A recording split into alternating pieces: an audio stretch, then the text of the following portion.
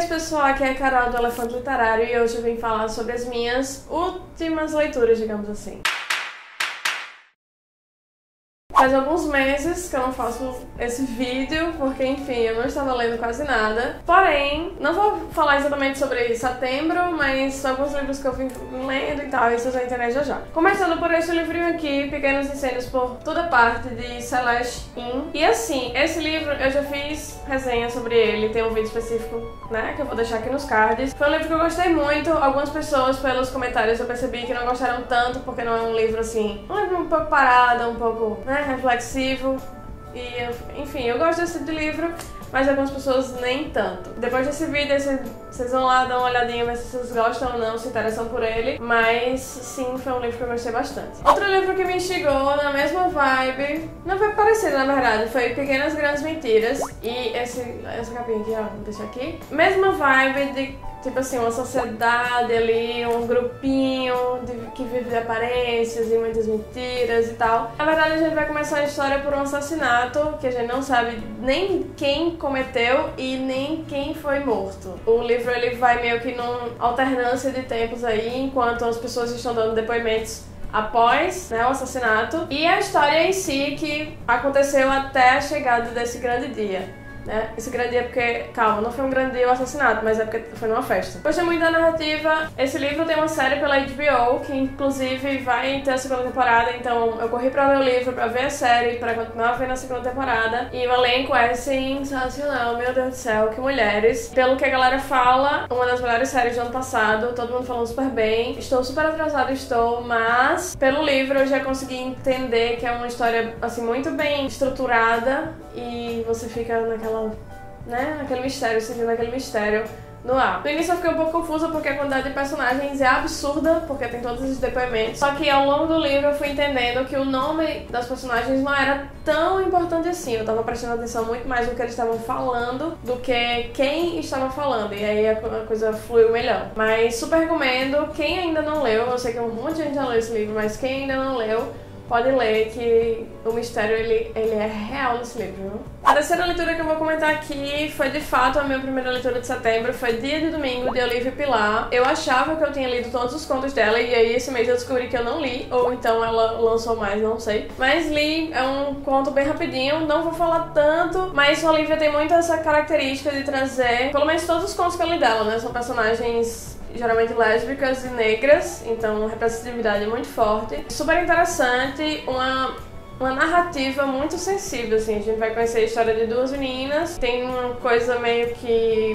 as famílias não aceitam, alguma coisa desse tipo, sabe? Então é uma, uma leitura super rápida, super leve, só que traz também essa, essa pitada assim de reflexão, traz uma, uma coisa que eu acredito que represente muita gente que né, que possa ler essa história. E foi uma leitura super de boinhas que eu acho que esses contos, eles acabam sendo muito importantes pra gente aumentar essa representatividade. Outro conto que li esse mês foi De Todos os Motivos, de Vitor Castrilho, e eu nunca tinha lido nada de Vitor, mas igualmente uma narrativa muito fluida, digamos assim, a gente gosta dessa palavra, né? A gente vai conhecer a história de dois amigos que, na verdade, um assim, talvez ele tenha um sentimento a mais ali, quem sabe? E ele acaba externando esse sentimento dele num, num fórum de, sei lá, pela internet. E aí a gente vai conhecendo muita história deles, né? De, como é que eles chegaram até esse momento de, dessa amizade tão grande e tal. Foi uma leitura que eu gostei bastante,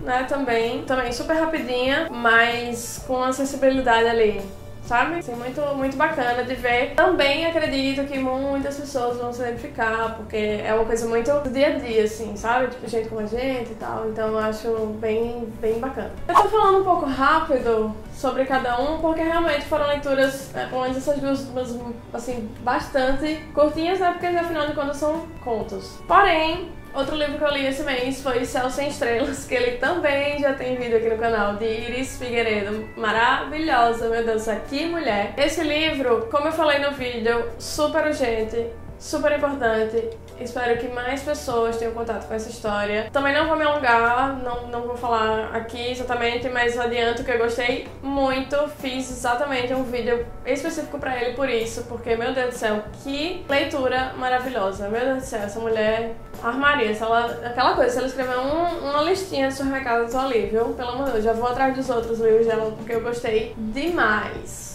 Gente, eu, eu tô sentindo que eu fiz esse vídeo, não sei nem porquê, porque todos os livros que eu tô trazendo aqui praticamente já tem vídeo e não foi diferente. Com 13 segundos eu falei, eu meio que trouxe esse livro de Bel Rodrigues, fazendo ali um paralelo com sororidade, que não é o tema principal do livro, mas ele fala muito sobre isso nas linhas e nas entrelinhas também. Foi um livro que me surpreendeu muito, muito, muito mesmo. Assim, eu, eu comi esse livro, chorei junto com ela. É um livro também que é muito, ele é muito próximo próximo da nossa realidade. Pessoas acho que diariamente passam por isso aqui. É um assunto que a gente precisa trazer, que a gente precisa anunciar, que a gente precisa se unir para ir contra. E eu também vou deixar aqui nos cards e aqui embaixo para quem quiser conhecer um pouco melhor sobre esse livro. Mas, ei, se eu fosse você, eu conhecia, viu? Queria dizer que eu tô só péssima nesse, nesse vídeo, porque os livros que eu, que eu já falei, eu só comento. E esse que eu vou falar agora, eu pretendo fazer um vídeo específico para ele. O Alto da Maga Josefa, que simplesmente se passa no sertão nordestino.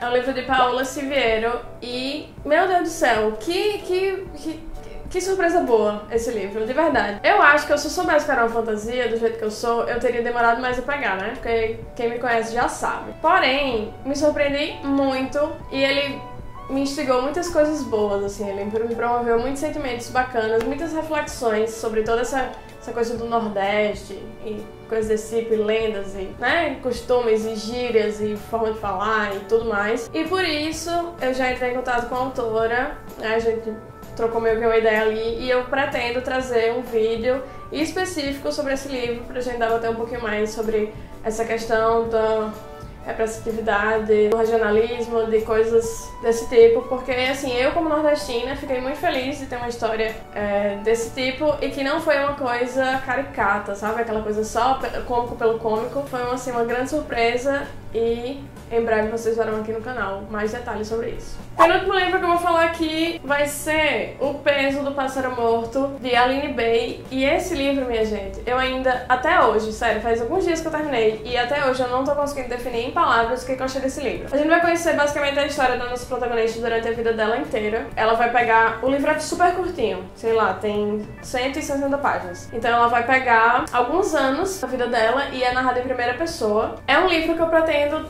também trazer um vídeo específico pra ele, porque, enfim, ainda estou digerindo, por incrível que pareça. Sério, pra vocês verem como o negócio foi, foi pesado. Eu não sei como é que se caracteriza a diagramação desse, desse livro. Ele não é exatamente em prosa, eu acho, mas ele também não é uma poesia. Ele é uma mistura, só que ao mesmo tempo ele é extremamente poético. Eu não sei explicar isso. É um livro que eu fechava, em umas partes que eu fechava assim, e eu ficava pensando, como é que uma pessoa consegue escrever com tanta beleza. Isso faz sentido pra alguém? Eu não sei, não tá nem fazendo pra mim direito. Mas é um livro que ele vai tratar coisas super corriqueiras, né? Assuntos um pouco polêmicos. Enfim, do dia a dia, é um, um, livro bem contemplativo, digamos assim. Ah, eu gostei muito. Eu não tô sabendo, não tô sabendo dizer. Na verdade, eu conheci esse livro através de Mona, do Litera Sutra, e, era, e foi justamente esse sentimento dela não saber identificar e dela não saber definir com as palavras que me fez ficar curiosa. Então eu estou repassando, espero que alguém tenha ficado curioso também, mas eu realmente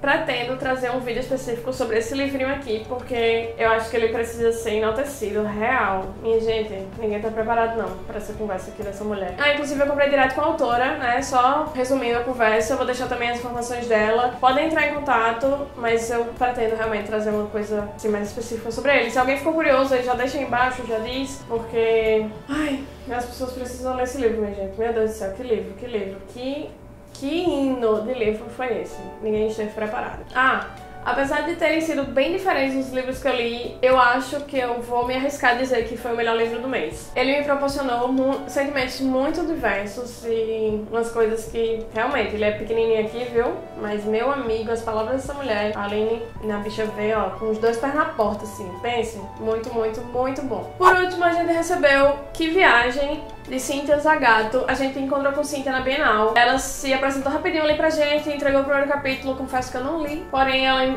uma, depois mandou o livro com uma cartinha super fofa. Vai contar a história de uma menina que ela tá passando ali numa por uma espécie de luto ainda, que o pai dela morreu vai fazer um ano. E aí ela era muito apegada a ele, tá? eles viviam só os dois. E aí ela vai, ela descobre que o ídolo dela tá fazendo uma turnê como guitarrista de uma banda que é super bombada pela América Latina. Então ela decide que ela vai segui-los. E vai pros shows e tal. Então a gente vai conhecer muita história dela, a gente vai conhecer essa ligação que ela tinha com o pai através de flashbacks que ela vai ter e vai contar um pouquinho sobre isso. Foi muito legal porque pra mim é super comum. Não é super comum, mas eu tô muito envolvida com essa questão de música, né? De produção cultural e tal. E eu nunca tive essa, esse sentimento de fanatismo. Eu não sei exatamente como é. Eu não sei ser fã, assim, aquela coisa louca e tal. Não, enfim, eu sou muito sem graça, às vezes. Enfim, é, a gente vai conhecer muito alguns lados né, de alguns pensamentos de fã. Ela é uma fã um pouco mais cuidadosa, assim, ela tem aquele fanatismo, mas ela pensa muito no sentimento do,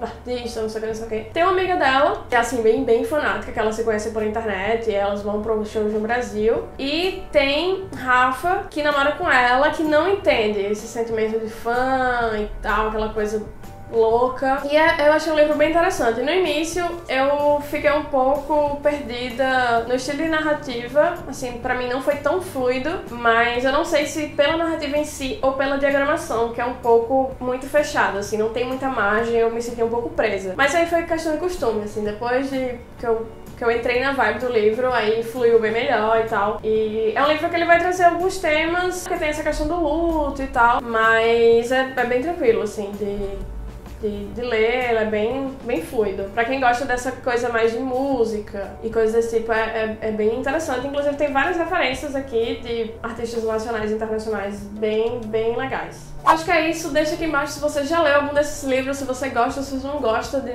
de algum deles também. Não esquece de deixar o seu like, se inscrever no canal, se ligar em todas as redes sociais que estão aparecendo aqui e ficar ligado em tudo que acontece aqui no Elefante Literária. Valeu!